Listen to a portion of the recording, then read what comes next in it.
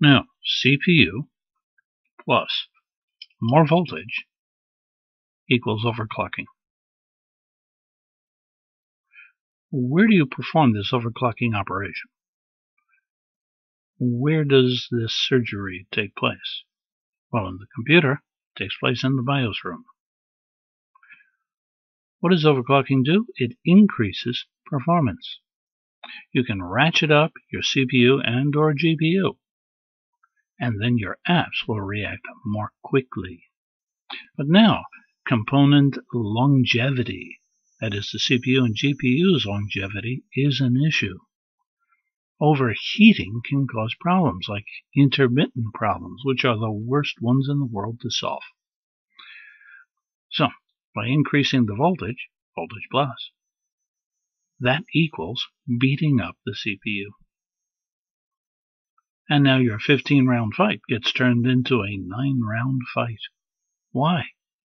Because, well, just look at the uh, electrical side of it. Power equals voltage times current. That's the formula.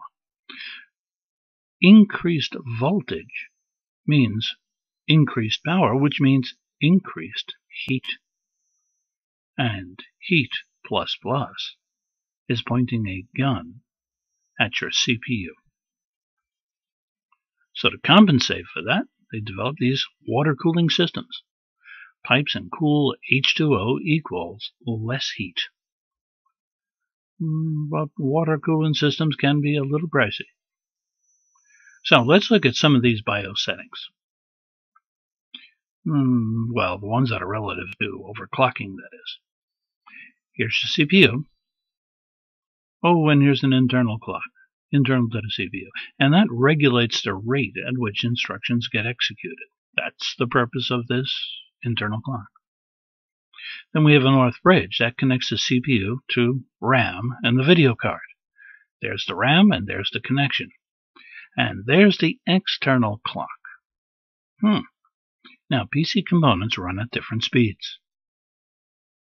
The CPU now looks at the external clock speed of a component and ratchets down to match that speed.